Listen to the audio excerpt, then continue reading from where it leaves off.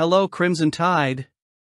Alabama football has its eyes on several prospects, but this one is one of the most intriguing in the state for the class of 2026, Marquez Daniel. You can sign up now and keep getting the latest Crimson Tide news. Daniel, a talented wide receiver from Booker T. Washington High School in Tuskegee, Alabama, has caught the attention of several top programs, receiving offers from teams such as Auburn, South Carolina, Tennessee, and others. Will Tennessee be a great rival to land Daniel? Standing at 1.80 m tall, Daniel stands out not only for his height but also for his impressive set of skills. His sophomore season showed significant development, cementing his reputation as a rising star on the high school football scene. As a wide receiver, Daniel demonstrates an exceptional ability to create separation from defenders thanks to his speed and agility. Additionally, he is known for his stamina after the catch, often leaving defenders behind with his explosive runs. His visit to the Alabama program will provide an opportunity for coaches and recruiters to get a closer look at his talent and potential. With his ability to excel in multiple facets of the receiving game, Daniel will certainly be a valuable addition to any college team that can land him. As the competition for the four star recruit continues to heat up, let's keep an eye on Daniel, hold back expectations and hope he picks Bama and not Tennessee. What would you say? Keep going, because there's more news. It is with great excitement that Alabama football receives the news that Caleb Cunningham, one of the most coveted wide receivers in the class of 2025, has completed his official visit to the program. Standing at an impressive 6 foot 4 and 185 pounds, Cunningham possesses all the physical characteristics and technical skills needed to excel on the college football scene. His combination of size, speed, and agility makes him a formidable threat on the field, posing a challenge to any opposing defense. As a wide receiver, Cunningham is known for his ability to create separation from defenders thanks to his agility and play intelligence. His ability to get up and compete for the ball in the air makes him a constant threat in deep passing situations and in the red zone. Cunningham's decision to schedule an official visit to Alabama demonstrates the mutual interest between the player and the program. Crimson Tide coaches and recruiters will certainly be eager to welcome Cunningham and show him what the program has to offer in terms of academic and athletic opportunities.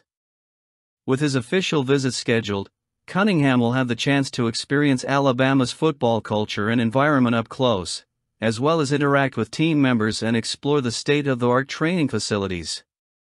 For Alabama fans, the possibility of adding a world class talent like Caleb Cunningham to the roster is cause for great excitement and anticipation. His official visit represents another step towards building a promising future for the Crimson Tide. And there's more! Now, news about Bryce Young, big boy from Alabama.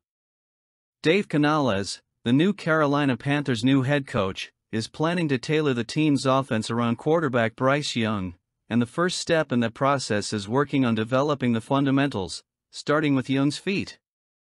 During an appearance on NFL Network at the NFL's annual meeting in Orlando, Florida, Canales expressed his intention to identify the concepts Young feels most confident in and adapt the game to his style. This includes watching Young's foot steadiness during pass delivery, whether on a drop shot or a hookup, looking for a solid look and explosive aggression with his back foot. Canales compared Young's development process to what he did with other talented quarterbacks he coached, such as Russell Wilson, Geno Smith, and Baker Mayfield. He emphasized the importance of starting with the fundamentals, including center stance, foot balance, and takedown construction, before customizing footwork to suit specific game concepts. Additionally, Canales highlighted the importance of eliminating excessive pre snap to allow Young to play early and quickly, identifying defensive coverages and making quick decisions during the game. This involves building a three step drop library and being able to quickly advance through reading progressions.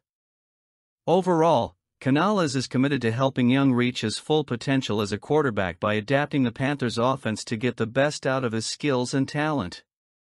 And there's more.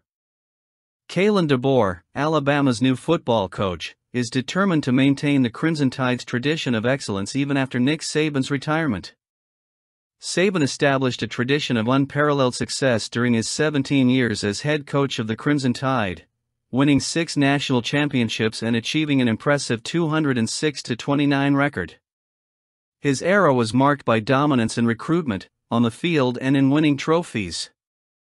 For DeBoer, the task of maintaining this tradition is monumental, but he has already shown ability during his seasons as head coach of the Washington Huskies. Under his leadership, the Huskies have had success, achieving an 11 2 record in 2022 and winning the Pac 12 title and appearing in the CFP national title game in 2023. While Washington doesn't have the same tradition of success as Alabama, DeBoer's rapid progress suggests he can succeed for the Crimson Tide. He's already working hard in recruiting, with Alabama ranked second overall in the 2024 class and currently ranked 7th for 2025. Despite some roster losses due to the transfer portal following Saban's retirement, Alabama still has a talented team and figures to be a college football championship playoff contender. Challenges against teams like Wisconsin and Georgia in September will be important in determining the potential of DeBoer's team, but he is determined to maintain the standard of excellence for the Crimson Tide. I want to see his opinion, it's important.